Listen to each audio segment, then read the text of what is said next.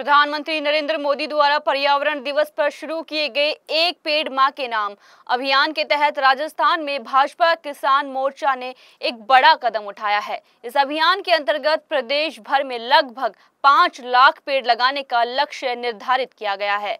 इस पहल की शुरुआत हो चुकी है और इसे केवल पेड़ लगाने तक ही सीमित नहीं रखा जाएगा, बल्कि इनकी उचित मॉनिटरिंग भी की जाएगी। इस संदर्भ में भाजपा प्रवक्ता राजेंद्र मीणा ने कहा, हमारे कार्यकर्ता न सिर्फ़ पेड़ लगाएँगे, बल्कि उनकी सही से देखभाल भी करेंगे, ताकि वे पेड़ सही तरीके से बढ़ सके।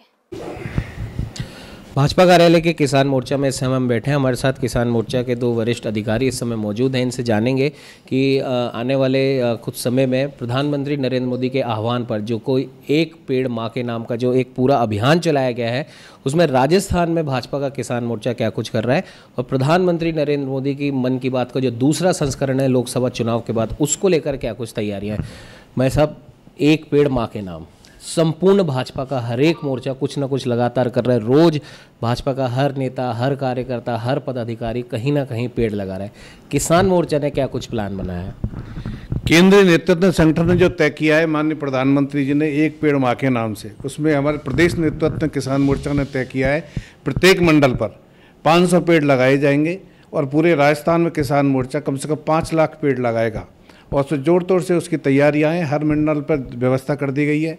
और हर जगह जाके मॉनिटरिंग की जा रही है। उनके जिलों के अध्यक्षों को लगाया है मंडल पर जाकर के पेड़ लगाए जा रहे हैं, उनके फ़ोटो भी खींचे जा रहे हैं और मीडिया और सोशल मीडिया पर डाले जा रहे हैं।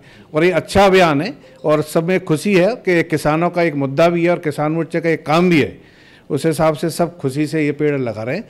और ये अच्छा कार्यक्रम है। सर, एक सवाल यहाँ पर बनता है, जैसे आपने मॉनिटरिंग की, आपने बात कही तो अक्सर देखा गया है, भले ही वो स्वच्छ भारत अभियान हो या फिर और कोई भी अभियान हो हम काम तो कर देते हैं, फ़ोटो भी खिंचा लेते हैं, लेकिन बाद में फिर उनकी मॉनिटरिंग ढंग से नहीं हो पाती। जैसे अभी एक पेड़ माँ के नाम के उस उपलक्ष्य में हर जगह पेड़ लगाए जा रहे हैं, लेकिन देखा है हमने कई कई जगह देखा है कि सिर्फ़ फ़ोटो के लिए या अभियान के नाम पे लगा तो दिए जाते हैं, लेकिन बाद में उन्हें ऐसे ही खाली छोड़ दिया जाता है। इसे लेकर क्या कुछ आपने निर्देश दिए इसमें क्या कोशिश ये की जा रही है जब पानी की व्यवस्था भी हो, जो सार्वजनिक स्थलों में मंदिर हो कि धर्मशाला है कि स्कूल हैं, या कोई सार्वजनिक की जगह हैं, उन्हीं कोशिश कर रहे हैं उनको ज़िम्मेदारी भी दे रहे हैं कि भैया इनको जो अपन पेड़ लगा रहे हैं, इनको ज़िंदा भी रखना और ये पेड़ कैसे इनकी व्यवस्था की जाए जो पानी समय पर लग जाए, इनकी देख रेख सुरक्षा कर सकते हैं। उस वक्त इनकी तारबंदी है सब व्यवस्था इनकी, उस पर निश्चित रूप से ध्यान दिया गया और उसकी पूरी मॉनिटरिंग होगी और पानी की व्यवस्था भी की जाएगी। लोकसभा चुनाव के बाद प्रधानमंत्री नरेंद्र मोदी के मन की बात के दूसरे संस्करण के लिए भी भाजपा किसान मोर्चा ने पूरी तैयारियाँ कर ली है। किसान मोर्चा के कार्यकाल प्रभारी सत्येंद्र त्यागी ने बताया, हमने सभी व्यवस्थाएँ कर ली है ताकि ज़्यादा से ज़्यादा किसान और आमजन मोदी जी की मन की बात को सुन सके। प्रधानमंत्री नरेंद्र मोदी के मन की बात का लोकसभा चुनावों के बाद में दूसरा संस्करण अब पेश किया जाएगा। प्रधानमंत्री नरेंद्र मोदी द्वारा उसे लेकर भी किसान मोर्चे ने अपने लगभग लगभग पूरे राजस्थान भर में ज़िला स्तर पर, मंडल स्तर पर बूथ लेवल तक तैयारी की हैं। जानते हैं क्या कुछ वो तैयारियाँ हैं? त्यागी जी, क्या कुछ तैयारियाँ किसान मोर्चे की तरफ़ से की? किसान मोर्चे ने सभी जो मंडल के मंडल अध्यक्ष और शक्ति केंद्र प्लस जिला जिला हेडक्वार्टरों पर सभी जो आम जन, आम नागरिकों हैं, उनको प्रधानमंत्री के मन की बात को सुनने के लिए सुनिश्चित किया है, जिसमें सभी आम लोगों की भागीदारी सुनिश्चित करी है, जिसमें सब मतलब सभी को प्रधानमंत्री जी के मन की बात को सुनना है। जो प्रधानमंत्री जी मान लो देश के विभिन्न मुद्दों को मन की बात में रखते हैं तो और सभी कार्यकर्ताओं ने उसको मतलब बखूबी ढंग से उसको अंजाम दिया है और सभी ज़िलों में, सभी स्थानों पर शक्ति केंद्रों में, मंडल स्तरों में ज़्यादातर नब्बे परसेंट, नब्बे फ़ीसदी ये हो गया कार्यक्रम जो हमारी रिपोर्ट में जो है। ऐसा क्या कोई लक्ष्य रखा गया है कि हर मंडल स्तर पर कम से कम इतने लोग होने चाहिए? नहीं, ऐसा कोई लक्ष्य नहीं है। उसमें ज़्यादा से ज़्यादा जितने भी आम जन, जो आम नागरिक हैं, जितने भी भागीदारी जो वहाँ उपलब्धता है किसी गाँव में, ढाणी में, वो ज़्यादा से ज़्यादा लोग सुने। ऐसा कोई टारगेट नहीं है फिक्स बाकी ये है कि ज़्यादा से ज़्यादा स्थानों पर सुना जाना चाहिए। राजस्थान में आगामी 10 तारीख को राज्य सरकार का और जुलाई के लगभग आखिरी हफ़्ते में केंद्र सरकार का बजट पेश होने वाला है। इसको लेकर राजस्थान के किसान मोर्चा ने अपने सुझाव भी दिए हैं और उन्हें दोनों बजट से काफ़ी उम्मीदें भी है। भाजपा प्रवक्ता राजेंद्र मीणा ने जनता दरबार से खास बातचीत की है। आइए आपको भी सुनाते हैं। अब बजट भी आने वाला है, दस तारीख को राज्य का आएगा और करीब शायद महीने के आखिरी में केंद्र का भी बजट आएगा। किसान मोर्चा से आप लोग आते हैं और किसानों से आप कनेक्टेड हैं। तो राज्य सरकार को और केंद्र सरकार के प्रतिनिधियों को, किसानों को लेकर बजट के लिए क्या कुछ सुझाव आपकी तरफ़ से दिए गए हैं या दिए जाएँगे?